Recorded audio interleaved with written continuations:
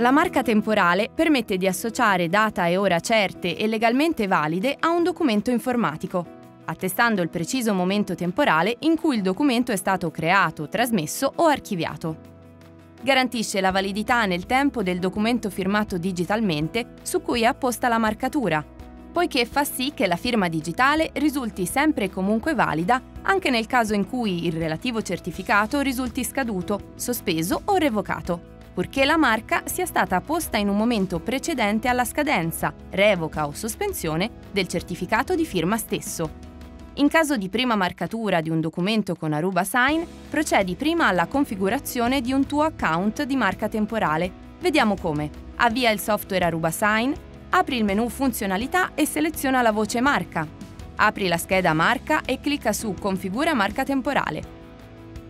Dal menu di sinistra seleziona la voce TSA Marca temporale. Da qui il campo Indirizzo server è già automaticamente preimpostato.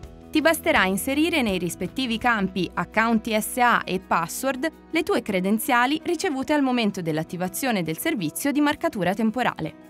Infine, clicca su Salva.